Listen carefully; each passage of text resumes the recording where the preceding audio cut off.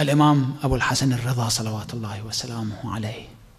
سأله الفضل بن سهل في محضر المأمون سؤالا محرجا.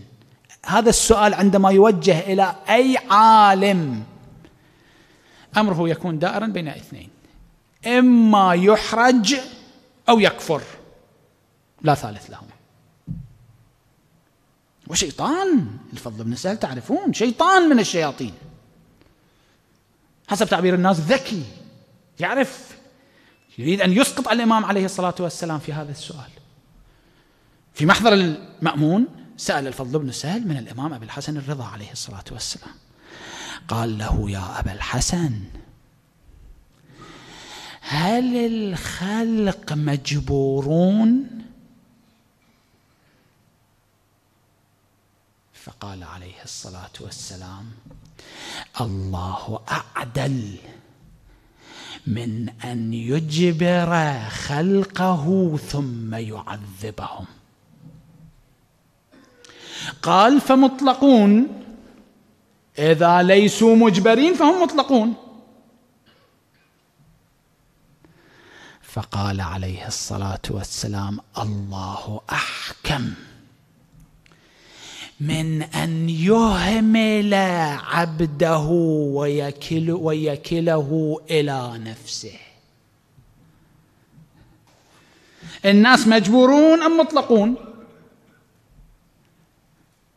مجبورون؟ الله أعدل من أن يجبر خلقه ثم يعذبهم.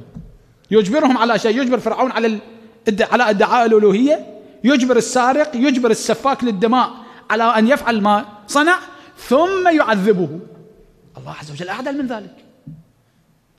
اذا مطلقون الأمور كلها لهم. لا. الله عز وجل يعرف أن الخالق لا يتمكنون أن يديروا أمورهم. الخالق البشر يتمكنون أن يحركوا قلوبهم فقط. هذا القلب هذا القلب الصغير. يتمكنون ان يحركوا؟ لا. يتمكنون أن يصنعوا ما في جهاز الداخلي للإنسان. يتمكنون؟ له البشر يتمكن. من إدارة نفسه. فهم مطلقون. قال عليه الصلاة والسلام الله أحكم. هناك قال الله أعدل هناك قال الله أحكم. هذه خلاف الحكمة. أن الله عز وجل يكل الأمور إلى الخلق الأمور الخلق إليهم. لا يتمكنون أن يديروا يوما واحدا. لا ساعة واحدة ثانية واحدة لا يتمكنون أن يديروا أمورهم. ثانية واحدة. قلوبهم تتوقف أكبادهم تتوقف. يتمكنون أن يحركوها؟ الله أحكم. من أن يهمل عبده ويكله إلى نفسه.